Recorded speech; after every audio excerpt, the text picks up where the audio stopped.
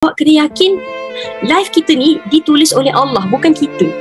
Dan Allah yang create kita dia tahu apa yang terbaik untuk kita apa future kita. Dan Allah menulis hidup kita dengan penuh cinta. Sebab every time Allah introduce himself Allah kata apa? Allah bismillahirrahmanirrahim.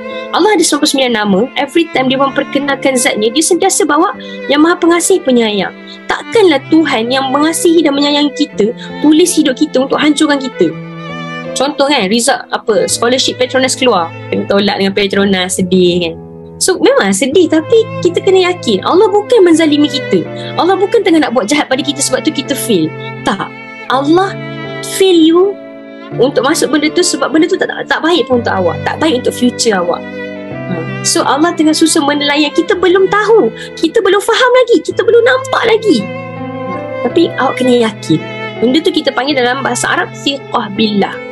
Having total trust in Allah. Ha. Percaya pada Allah, percaya pada susunan Allah.